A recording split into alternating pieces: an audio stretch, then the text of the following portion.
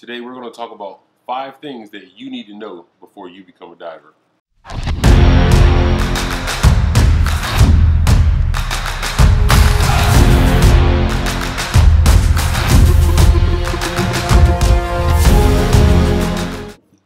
What's going on guys? Welcome back to my channel. It's your boy TJ Diver. If you're new here, this is a channel about diving, going out, meeting new people, doing different things and having fun. If you haven't done it already, make sure you subscribe, make sure you uh, like, and also make sure you hit the notification bell so you won't miss a thing. So winter's almost over, spring is almost here. So what does that mean for you guys? That means that the dive season is among us. A lot of your local dive shops are going to start running charters. They're going to start giving classes for uh, new scuba divers. And today I'm going to give you guys a few tips that'll help you transition from your normal, everyday, boring life to an awesome life as a scuba diver. So here we go. All right, so step number one make the commitment. If you don't tell yourself that you're going to do it, you're probably not going to do it. You're not getting any younger. Find a dive instructor, find a dive master, find a dive shop, Go sit down, go talk to them, tell them what you're trying to do, and just go do it. Do it! Don't let your dreams be dreams. Number two, try and discover scuba. Before you start scuba diving, you want to make sure that scuba diving is for you because scuba diving isn't for everybody. I've given numerous discover scubas just to find out that somebody really didn't like scuba diving, they just thought it was a good idea. So, what is a discover scuba? A Discover Scuba is basically where you go meet up with a dive master or you meet up with an instructor. They put you in the gear. It's very simple. It's very easy. You don't have to assemble anything. They pretty much do everything for you. They teach you three skills, which are the mask clearing. They teach you regulator recovery and regulator clearing. Once you have demonstrated that you can master all three of those, they will then take the gear, suit you up, put you in the water, and you basically go diving without any of the book work, without any of the paperwork, and you just swim around for a certain period of time, and then you see if you like it. If you like it, then you can move forward. If not, at least you tried it and you know that diving isn't for you. Tip number three invest in your own gear. It's very important to invest in your own gear because you're not just going to stop diving once you learn to dive. You're going to continue to dive. You want to make sure that all your gear fits, you want to make sure all your gear is comfortable and you want to make sure you know how to use all your gear and it's easy for you to use. Personally, I have my own setup that I like to use. It's very comfortable for me. Um, I've had it for a couple of years now, and my instructor told me the same thing. He actually took me to the dive shop, helped me fit on gear, um, me to get gear formatted for what I wanted I wanted to do. So just make sure that you take the time to get your own gear and you also make the invest investment. I do understand that gear can be a little pricey, but you don't have to start out with the most high end gear as soon as you become a diver.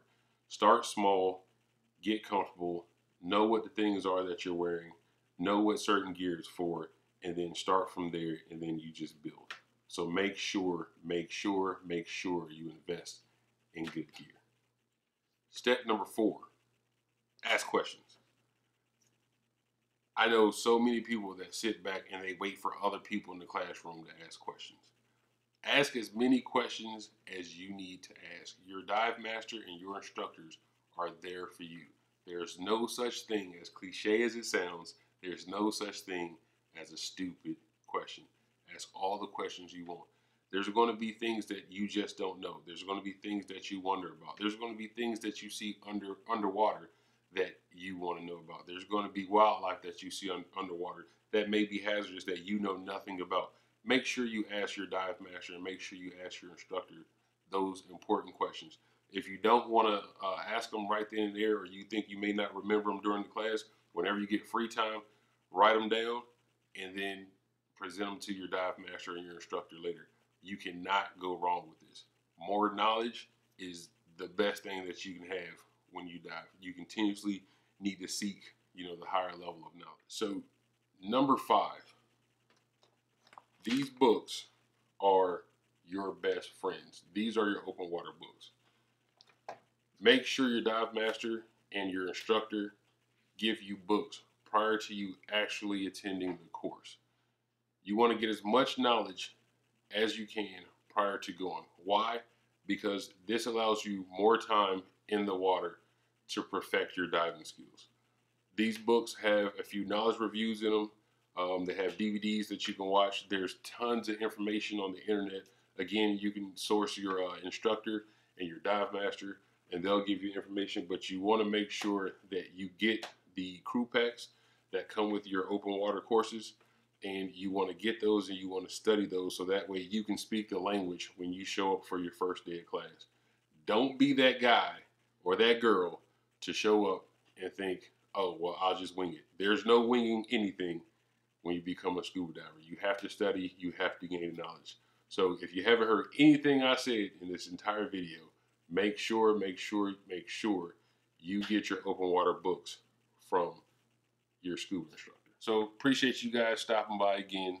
Um, like I said before, these are only five steps or tricks or tips or however you want to look at it that will help you to become a scuba diver. So happy diving. If you guys liked the video, make sure you hit the subscribe button. Make sure you hit the like button. Make sure you hit the bell so you can never miss another video.